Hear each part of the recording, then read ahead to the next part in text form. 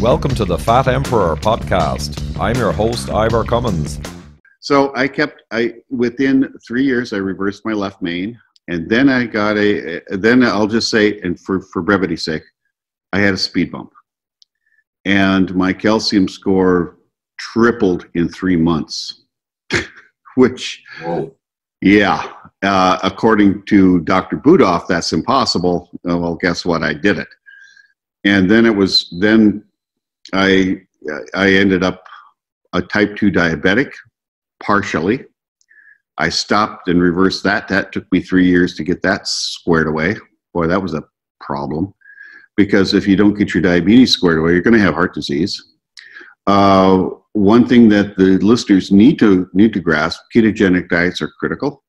Ex, with the exception of the APOE4 genotype, there you've got to be a little cautious in your diet. But uh, I've always been ketogenic uh, from my athletic days back in the 60s and 70s. So I, I kind of knew it worked. And by January of 2003, I wrote a nice letter to a friend in Tiburon, California, and I said, Bob, heart disease is a gut bacteria problem. It's a function of your thyroid. It's a function of low D, low magnesium. It's it's your gut bacteria that uh, dictate your uh, your health. It's kind of interesting. January 2003, long before any of this, and I really emphasized carbs will kill you. And it was it's been fascinating. It's been a hell of a ride ever since. So this the thing with calcium scores, your calcium score keeps increasing. Okay, that means you have stuff growing in your arteries that aren't supposed to be growing there. I, I sometimes call it cancer of, of your arteries. And in 2010, I said to myself, enough is enough. I've slowed it way down. Progression was like a couple of percent per year, but it's still growing. If it's growing, it'll kill you. So I said, I took a week off and I just burrowed myself into my books. And by I've, I've ran into an inadvertent article by Mercola from 1998, and it said vitamin K influences heart disease. And I went, really? You got to be kidding me. I didn't know it. I truly didn't know it. I got everything else figured out, but I didn't know about K. And it was funny when I finally dove into that. I remember what Dr. Davis, Dr. Bill Davis from Wheat Belly fame, said to me.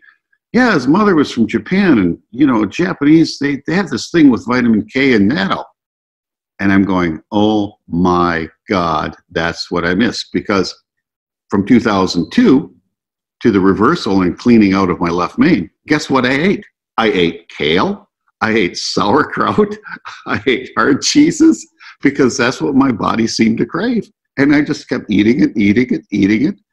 You know, and, and I inadvertently used K to solve my problem. And I didn't know it at the time but it was essentially it was your investigations and your switch to a more keto diet removing problematic carbs which feed the wrong gut bacteria cause leaky gut immune reaction all that stuff. You were doing all the right things but inadvertently you were you were tilting towards high k2 foods. Exactly. Exactly. It, I, I stumbled into it. You know it just uh, it just so apparently when I had that speed bump, the, the apparently the gut bacteria that were making my K were killed off. I'll just put it that way. And we could talk about what really happened at that time, but that's a whole other thing. It's very controversial, and I don't want to get into it. So I realized I needed K. So I had to go find it in, a, in levels sufficient to make it work. And I dove, did a deep dive into that, and I, I said, okay, I found my K which was it, it, it could read like a Cheech and Chong movie, you know, driving down to Tijuana to score some marijuana. I mean, it was amazing. You know, you go to these conferences and say, "Hey, I'd like to buy a Kia MK4."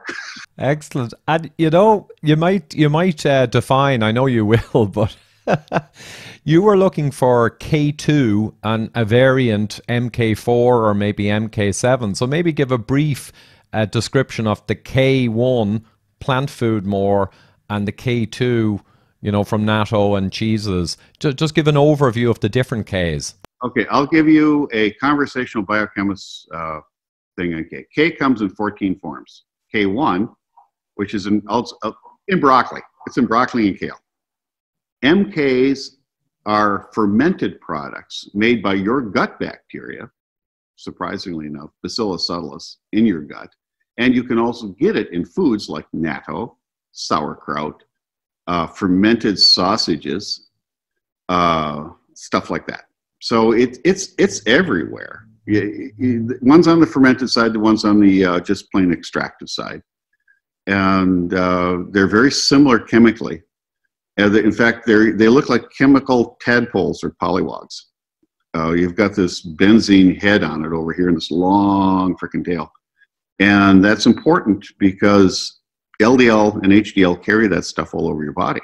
And that's something people forget about LDL and HDL and VLDL. The, those are the three trucks that haul K1, the MKs, which come in 13 different flavors, and your vitamin E, and your CoQ10, and something called microRNA, which is primarily resident on HDL.